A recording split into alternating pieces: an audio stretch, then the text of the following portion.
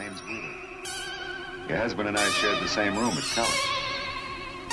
Mike got a pen? No. I graduated a few weeks ago. He's still up there waiting for his diploma from the uh, parole board.